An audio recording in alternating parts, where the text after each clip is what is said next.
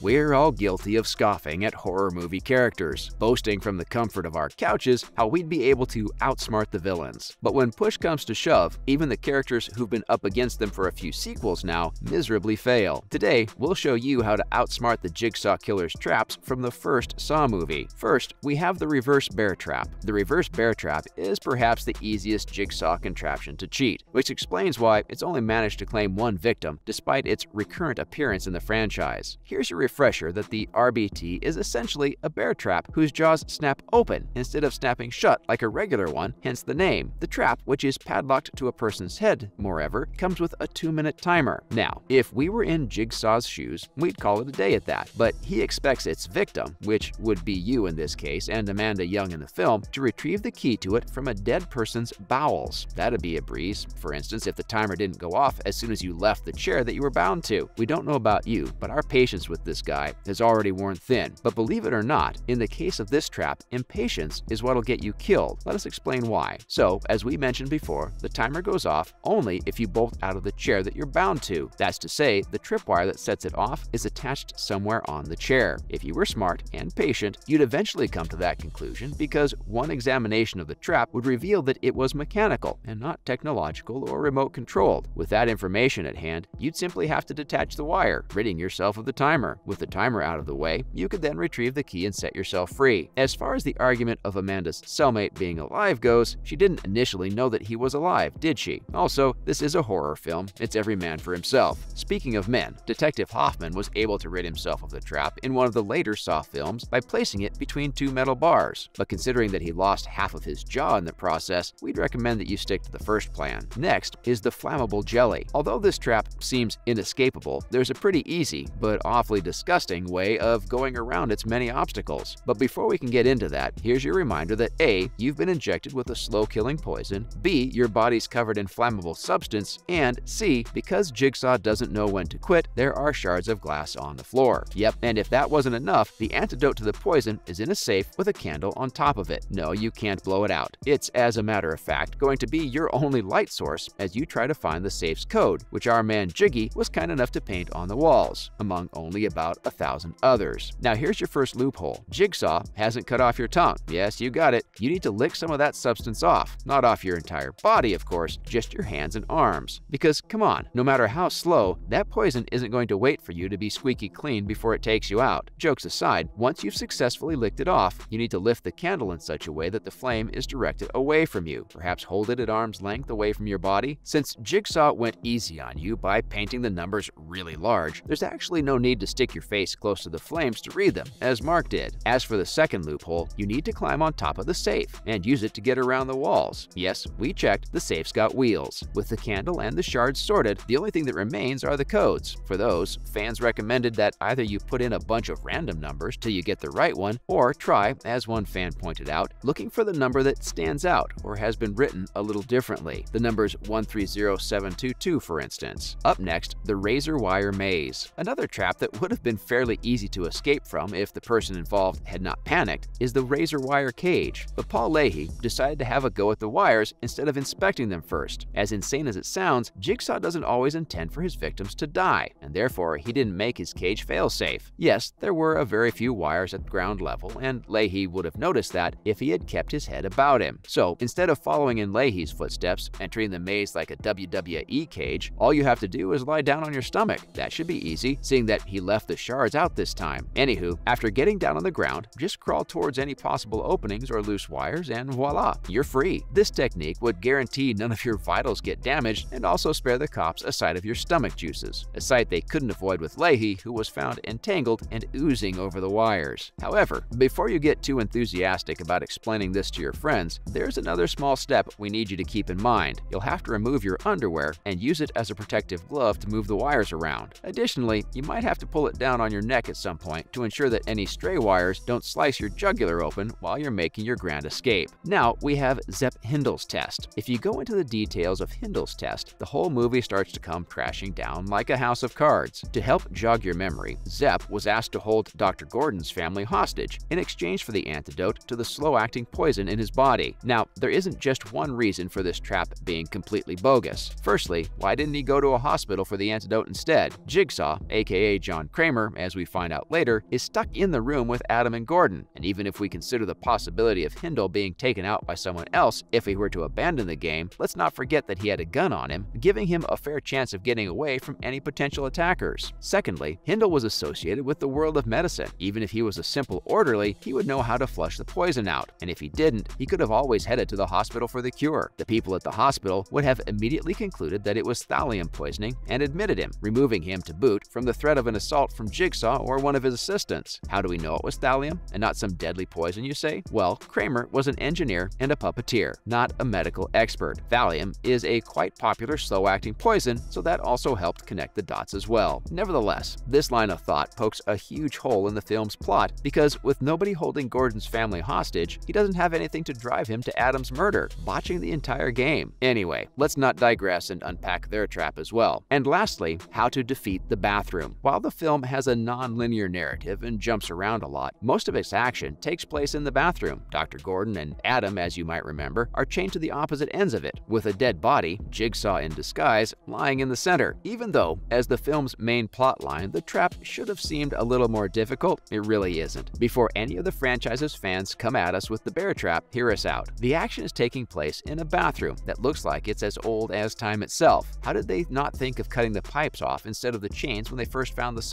The pipes are relatively older and much more likely to give way. Now, we agree that the chains can administer electric shocks, but the plot didn't hint at the same for the pipes. Another thing that gets our goats and makes the trap really easy to beat is the fact that there's no need to hack one's whole foot off. Even removing a little bit of flesh will do the job, and the blood will further help the chains slide off easily. Horror critics take notes. We mean they could have easily done this and then escaped by pushing the door down with their body weights combined. And before you ask us about Jigsaw coming at them, they had a gun on them for crying out loud. Just shoot the guy. All things considered, these were the few traps that were easily navigable. The ones we've left out, like the drill chair for example, we'd rather not boast about escaping, and you shouldn't either. That's a wrap for this video. How do you think Jigsaw would punish you? Which one of these traps would you have the most trouble with? Let us know in the comments below. Make sure to give this video a thumbs up and subscribe to our channel for more videos like this. See you in the next one.